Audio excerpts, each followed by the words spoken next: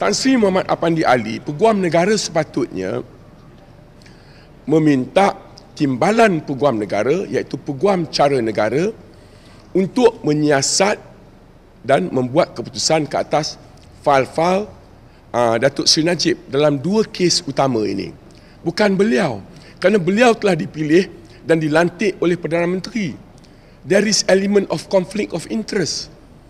Dan juga sepatutnya uh, peguam negara sekurang-kurangnya tubuh satu suruhan jaya siasatan bebas yang kemungkinnya melantik bekas-bekas hakim untuk duduk dalam Suruhanjaya uh, siasatan khas bagi menyiasat kes Datuk Seri Najib ini.